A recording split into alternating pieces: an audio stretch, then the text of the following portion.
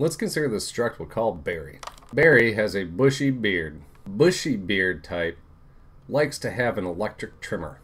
So, obviously, Barry wants to have the trimmer that the bushy beard type likes. Now what happens if Barry wants to have other types of beards too? Every C++ developer will invariably hit this error at some point. It is infuriating, it is confusing, and it uses some terminology that most developers are not actually that familiar with. And in my experience, that generally leads to developers developing the habit of sprinkle a little typename fairy dust across your code until it compiles. Voila, it compiles.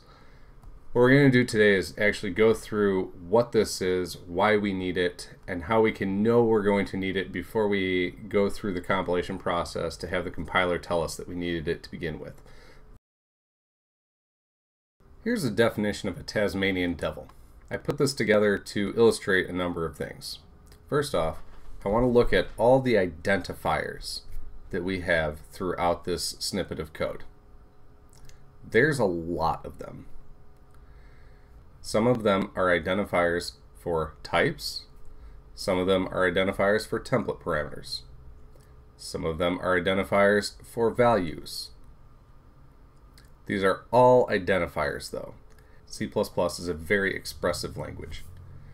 I want you to keep these in mind as we talk about some further issues because when you're coming up with names and naming things, you're creating identifiers all the time.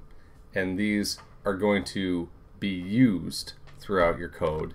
And depending on what that identifier is, can have some effects on how your code is viewed by the compiler later.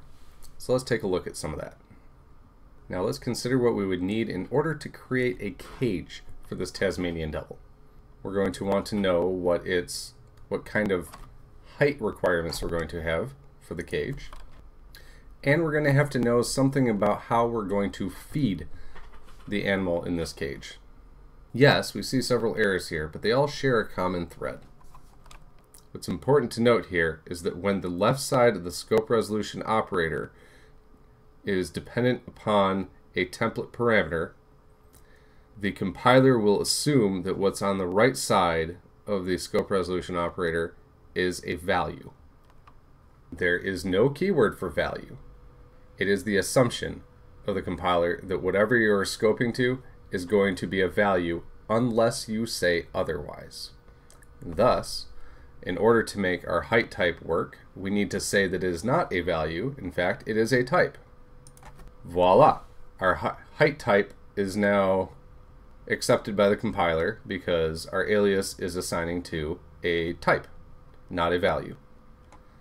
Similarly, when we are going to be using the angle brackets because we're using a template, the compiler is expecting to be getting a value and thus complains to us that our angle brackets don't make sense. In this case, because we're now in this dependent scope of the template parameter, so the compiler can't look through this template parameter, we're in this dependent scope, we're going to have to tell the compiler that this remains is in fact a template. That eliminates the issue of the template, but what we're left with after we give the parameter food t to remains is in fact a type. Notice that we're returning this from the function feed, and the return of the function must in fact be a type. But again, the compiler is assuming that whatever the scope resolution uh, evaluates to is a value. So we still have to say that it's a type. And with that mouthful of a line, we now have a fully compiling snippet of code.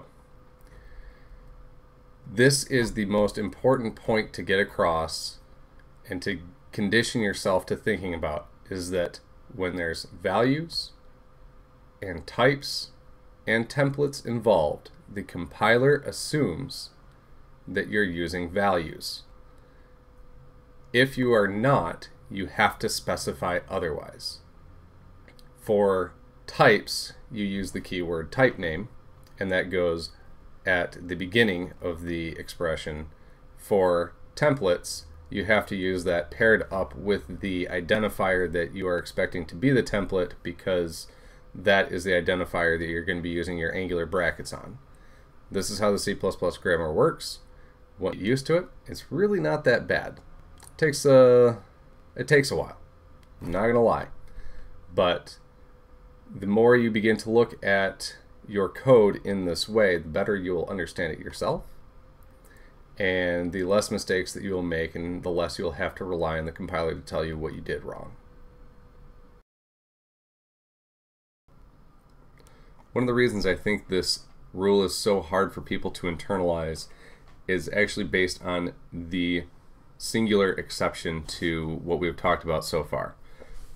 And that is when we want to derive from an identifier that is based on a template parameter where the template parameter is to the left of the scope resolution operator, making this a dependent type, we actually are not allowed to say typename here. And the issue here is that in this portion of our structure, it is assumed and expected that this that all the identifiers here are going to be types. You can't derive from a value. You can't derive from a template. So everything needs to be a type. Thus, there is no reason to say typename, and it is thus forbidden. You'll find this as an error in GCC, ICC, all with slightly different takes on what the error message should be, obviously, Clang, etc.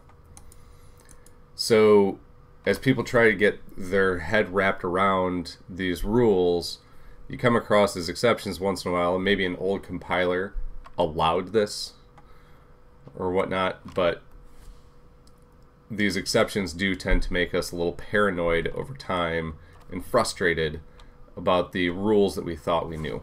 So keep in mind that for everything we've talked about, there is one exception to this, and that is you are not allowed to put typename in your list of base classes. Thanks for watching. I hope you enjoyed the video. If anything was unclear or you would like to hear about another topic in the future, please let me know in the comments.